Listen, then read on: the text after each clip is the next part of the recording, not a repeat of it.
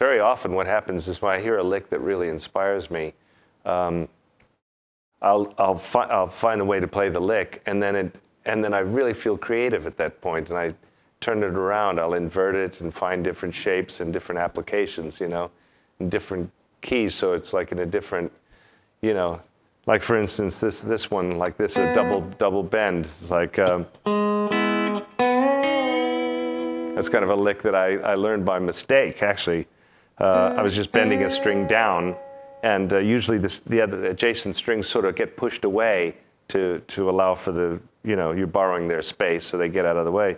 But in this instance, the, the B string, I'm bending the G string up a tone, but down toward the floor. I always found it easier, just in the case of my index, to bend away from myself, whereas with the other you know, fingers, I'm towards my towards the ceiling.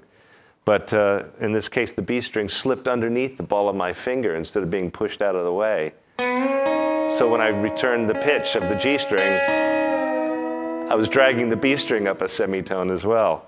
And that reminded me of a lick that's like a steel guitar lick. And I thought, I wonder if I could do the other part of that phrase, you know, with the, if I could do that bend and hold that in place while I'm executing this other little accident lick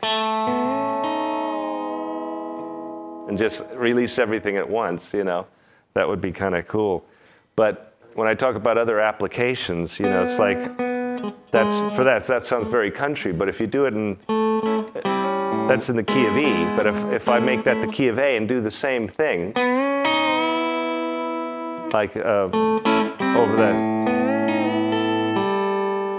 You can do like a whole other thing. It becomes more bluesy then, rather than country. So, and I started doing on other other strings too, like low strings. You know, and being that it's not a ma major third apart, the the you know you get a different sound altogether. You know, it's like becomes a D7. You know. In this case, I'm using the middle finger because that's just easier for me at, at that particular on the low strings.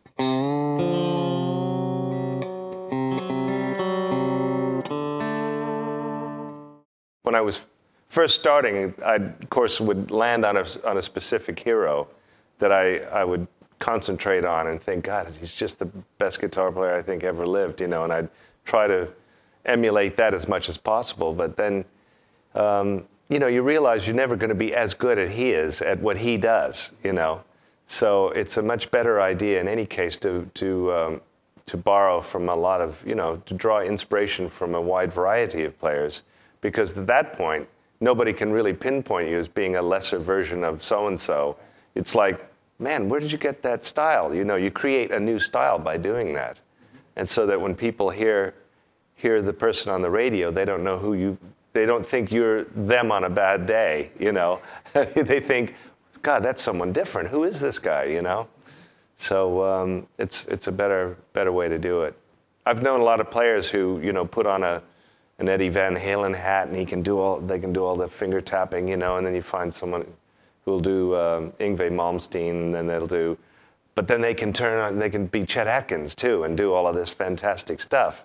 But it's like putting one hat on, taking it off, and putting another one on.